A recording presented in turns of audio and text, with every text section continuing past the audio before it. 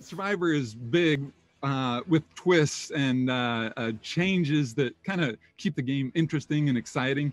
And so uh, to pitch a whole new twist, I would love more. Oh, yeah, this is what I'd love. I would love uh, uh, more that head to head combat type stuff. And, and I mean, we, we do already, we have that, but a little more winner take all. So Brad from Tribe Tibuana is going against Big John from the other tribe, and the winner takes all. Man, it is just, it's all on you that if you win it, your tribe doesn't have to go to tribal council. If you lose it, you go. So a little bit more of that revved up head to head competition that uh, winner take all. Oh, I'd love that.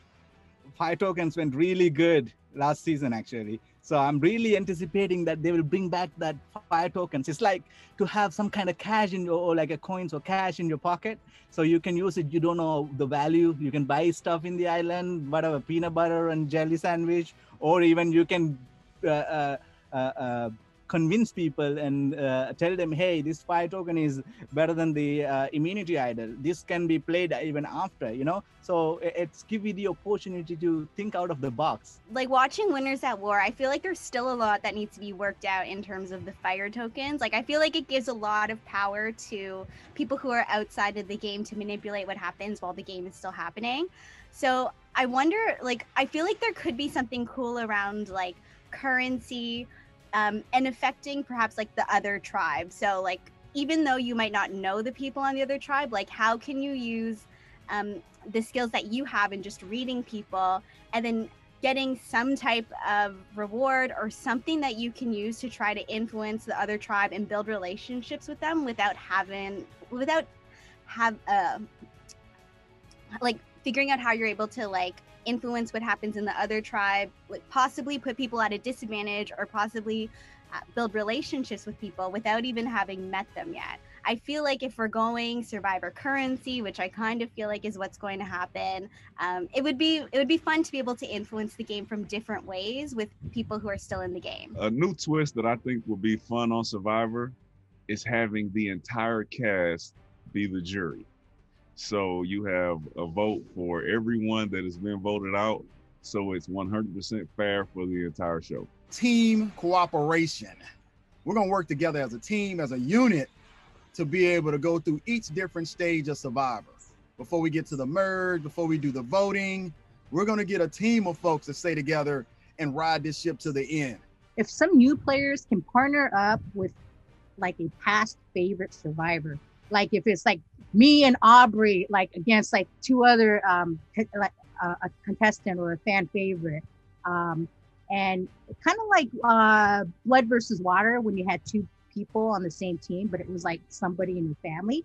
This would be like survivor and uh, fan uh, survivor contestant and fan favorite like on one team together and then see how far the two of them can go and then uh, maybe win as a team instead of an individual survivor like team jeannie and aubry win two million dollars you know something like that. Survivor brain brawn beauty with captains. So you could have somebody beautiful as the captain of the beauty tribe. So like a returning player like lauren o'connell who's my survivor crush what's up. Um, and then like somebody really brawny like i don't know brad culpepper as a captain for brawn and then brains, you could have like Domenick Abbate, somebody really smart, or Adam Klein or something like that. I don't know. I think that's good. I know they've brought in the idea, or I guess they have used it, of a super idol, one that could be read after the votes. But it was just too easy to find the idol and then have that kind of power. So, what I think would be a great twist is having some sort of similar to a legacy advantage, where it has a menu, though, of two different ways that you can use it and tied with an idol that you have to find yourself, then having the same powers as a super idol that you can use after the votes. But you have to have both the legacy advantage that you find on day one during the marooning and an idol that's found at your camp.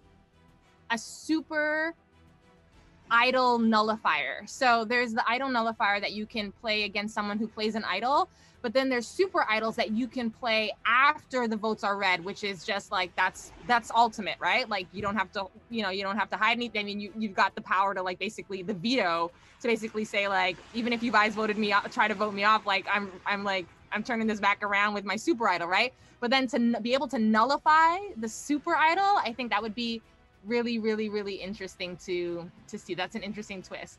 I really like um, this happened in the previous season, but I really like um, like the advantage of an idol nullifier or um, uh, a, an immunity idol with special powers that can be played after the vote.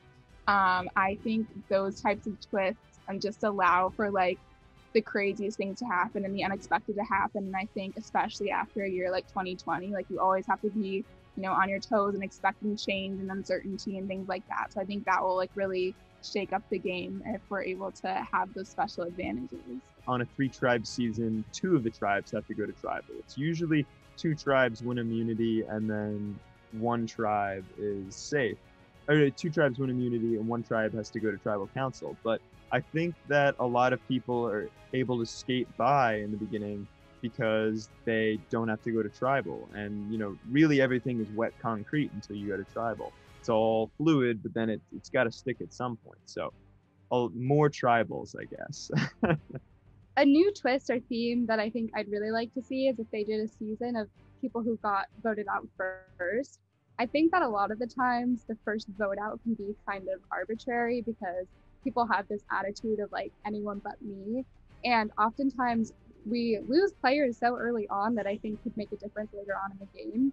Um, so I definitely think doing a season of first vote outs would be really interesting and something new. You start initially the first few votes as an individual game, and then you move to a tribe game, and then back to an individual game. That would throw everything on its head because being an individual game in the start would mean that you would have to be physical. You would have to work on providing for yourself and play that individual mindset. And it would ex- expose a lot of your strategy early on that you wouldn't be able to hide when you'd be shuffled back into a tribe. Instead of blood versus water where you bring your loved one what if it was like you and your boss and they're on opposite tribes.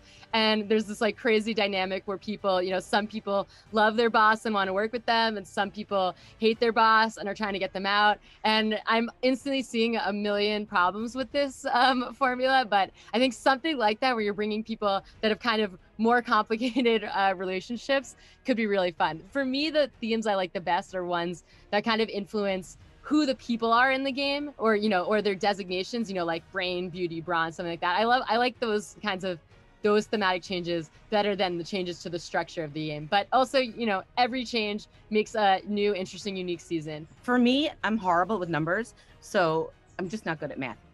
However, I have mastered Sudoku during quarantine here, and um, but I'm not good with like numbers, right? So I was thinking, how could I make this easier on myself? And I I thought to myself, what if Survivor did like teams of two, and then getting to the final four just by using teams of two tribes, like two double tribe. And uh, I think that would be really difficult because you would have to really trust your one person. And instead, you know, when they go to three tribes, it's always so difficult because the numbers are smaller and your chances are less. Like six tribes, you know, eight, nine tribes of two, like, and then eventually swapping into larger tribes, I wonder how that would work. You know, going from a very small to a larger tribe. So I would wonder how that would go. You know it would be fun? Um, bring back the auction. And besides the food items, like just go ahead and just say that there's there's not a, a hidden clue in there or anything like that, just to get that off the table. And have family visit, like something that if you open it up, it's like, you know, here's your dad, or here's, you know, add something like that into it. Something that is very meaningful to that person. I think that would that would be that would be very cool.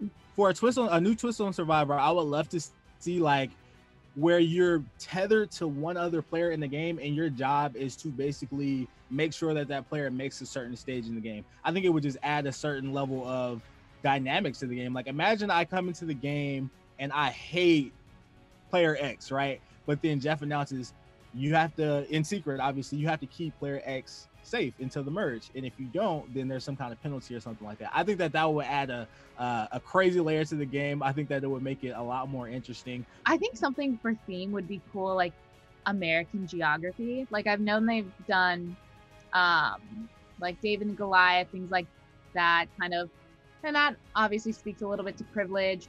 But like I said, I've traveled to 49 countries and I've been more culture shocked in a lot of places in the United States than I've been anywhere in the world. So if they did like a Northeast, West, and then like a South, that would be really interesting to see how the different cultures clash and get along.